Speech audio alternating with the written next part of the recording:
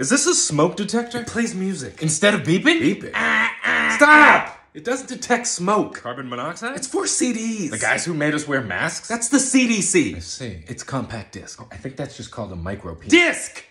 Disc! And the disc played music? Until the CD was scratched. Then what? It would start skipping more beats than my heart when I remember my age. Why is it called a Walkman? Because we walked with it. in your pockets? Oh, no.